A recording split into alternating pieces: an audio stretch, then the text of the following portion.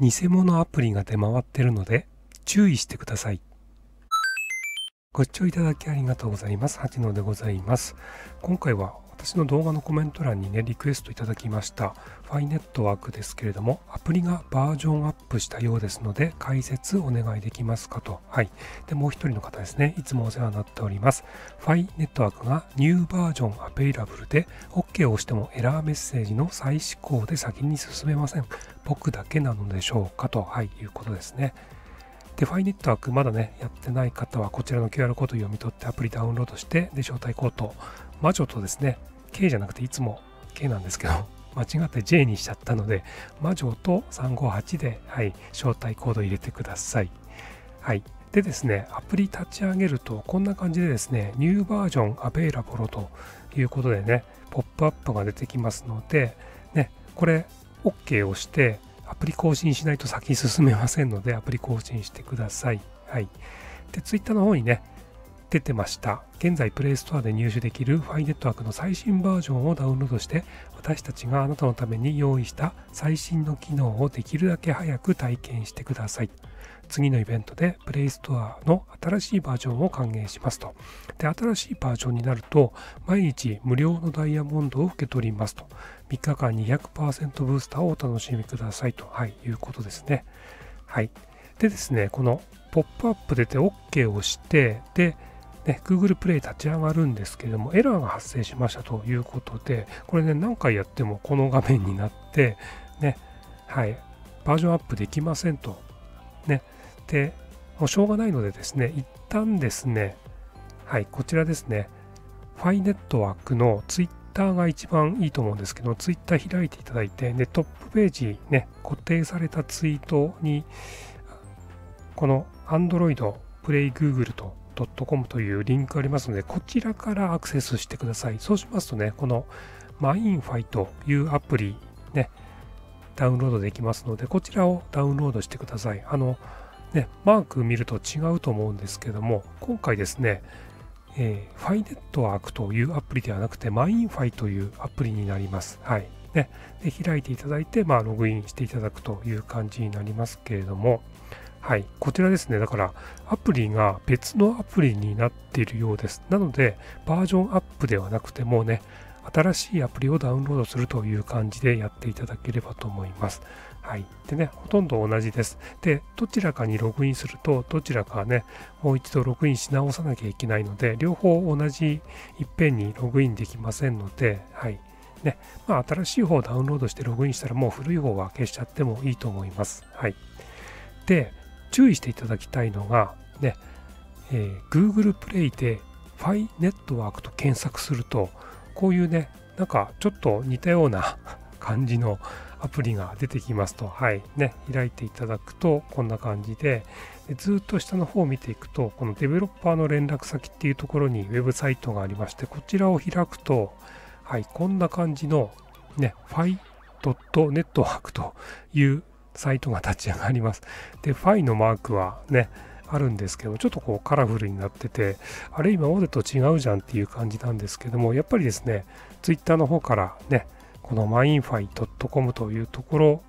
アクセスすると、こちらがね、今まで私が解説した Phi Network のアプリなので、まあ、こっちがまあ偽物なのか別アプリなのかちょっとわからないですけれども、これではないのでね、私が解説してる方は、こっちのマインファイという方の、はい、アプリになりますので、間違えないようにしてください。ね。はい。でですね、古いのと新しいのを比較してみますと、まあ、ちょこちょこ違ってますよと。で、まずね、表示名が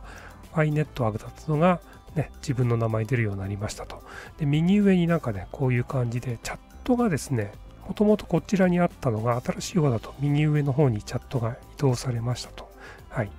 で、あとね、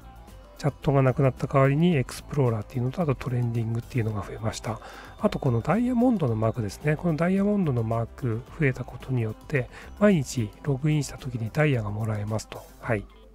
で、このダイヤモンドマークタップすると、こういう画面ね、開きますので、で、デイリーリワードっていうところを押すと、ダイヤモンド1つ増えますと。はい。ね。このポッチのところですね。ポッチがなくなってダイヤが増えるっていう感じですね。で、その下、ウォッチ、アド to get 3ダイヤモンドというところですね。こちらをタップするとですね、はい、こんな感じで、ニードはダイヤモンドと、ダイヤモンド欲しいですかって聞いてくるので、で、OK を押すと、ね、え、広告が流れて、で、広告が終わると、ね、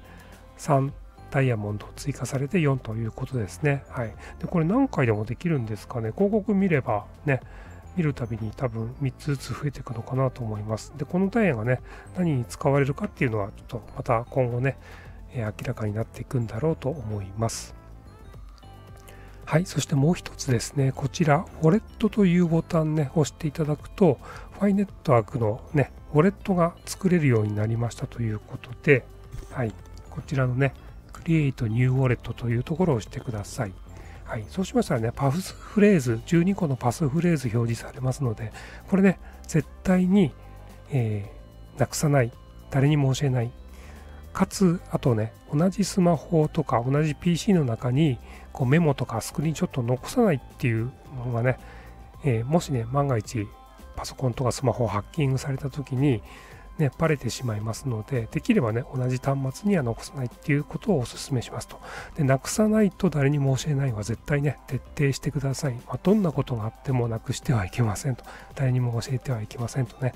よくですね、あの、パスフレーズ忘れてしまったんですけど、どうしたらいいですかってね、問い合わせ来るんですけど、もうどうすることもできません。絶対になくさないでください。ね。もうこれなくしたら誰も何もできませんので、このパスフレーズ持ってる人、知ってる人しか、このウォレットにね、アクセスできないので、もう本当にこれはね、徹底していただきたいと思います。はい。で、このパスフレーズね、ちゃんと順番、ね、ワードと順番、両方ね、しっかりメモっていただいて、で、ここですね、ドンというところを押すと、で、確認画面が出てきますので、今度はですね、これと同じようにね、順番に並べていきますと、はい。で単語を選んでいただければ、どんどんね、ここに追加されていくので、12個のね、単語を順番通りに並べていただいて、で、終わったらドーンというところを押してください。はい。そうしましたらね、ウォレットが作成されますので、はい。ここでね、はい。このウォレットを今後使っていくんだと思います。はい。そしてですね、こちらがツイッターのニュースなんですけれども、ファイネットワークが200カ国以上で20万人を超えるユーザーに到達したことを共有できることを嬉しく思いますと。はい。弊社のグローバルコミュニティにご参加いただきありがとうございます。一緒にネットワークの未来を作りましょうということで、着々とですね、人数増えていってますので、ぜひですね、まだやってない方、ね、一緒にやっていただければと思います。で、ファイネットワークについての詳しいね、解説動画、こちらのサムネイルの動画となってますので、ぜひね、この画面スクリーンショット撮っていただいて、動画見ながらファイネットワーク設定していただければと思います。いつも動画をご視聴いただきありがとうございます。今回の動画が良かったよ、ためになったよ、役に立ったよという方は、いいねボタンをお願いします。また、このチャンネルでは無料でもらえる暗号通貨情報をお伝えしていますので、ぜひチャンネル登録よろしくお願いします。